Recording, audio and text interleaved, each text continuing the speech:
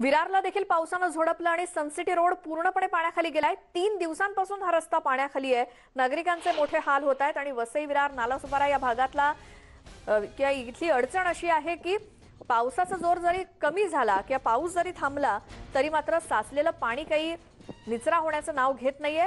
विरारमधील Sun City road हा पूर्णपणे पाण्याखाली गेलाय. रस्ता कुठे आहे हे देखील कळत नाहीये. या सगळ्या पाण्यामध्ये आमचे प्रतिनिधी विजय देसाई आपल्यासोबत जोडले गेलेत. विजय गेल्या तीन ते चार दिवसापासून आपण पाहतोय कोणत्या ना कोणत्या भागामध्ये वसई विरारमध्ये पाणी जैसे थेच आहे.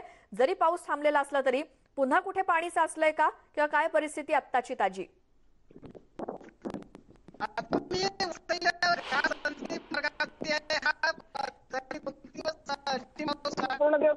पाऊस नाही आहे. असं असलं तरी या ठे- या रस्त्यावर अजूनही पाणी आहे. माझ्यासोबत या ठिकाणचा नागरिक आहे. आपण त्यांना विचारूया. सर सांगा काय काय सांगाल? या रस्त्यात या रस्त्याविषयी पहिला आपल्याला या जागेचा आपल्याला इतिहास आहे. ही जागा सीआरची आहे. या जागेवर काही वर्षा अगोदर मोठे सॉल्टवरनं वीज उत्पादन होत होतं. त्या लोकांनी आता सरकार महाराष्ट्र सरकारने आता त्यांना जो कोणत्या सॉलला जो दिलेली जागा होती त्याचा रेट संपलेली आहे. आणि ह्या हा रस्ता बनवताना ह्या रस्त्याच्या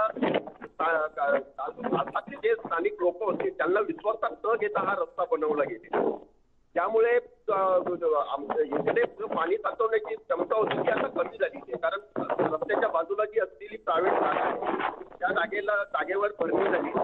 त्यामुळे आता इकडे पाणी साचवण्याची क्षमता कमी असल्यामुळे त्या रस्त्यामुळे आम्हाला गावात पाणी साचतो तसंच या रस्त्यालाही पाणी साचतो त्यामुळे दोन दोन तीन दिवस हा पाणी इकडे साचून जातो आणि आमच्या गावकऱ्यांच्या हात. याला जबाबदार कोण? काय सांगाल? त्याला जबाबदार स्थानिक प्रशा- स्थानिक अ, सत्ताधारी आणि प्रशासन.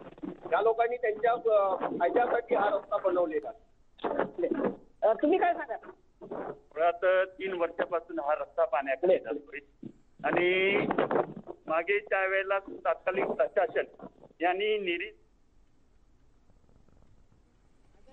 विरार वसई या ठिकाणची ही दृश्य कारण तिथे देखील गेल्या तीन ते चार दिवसांपासून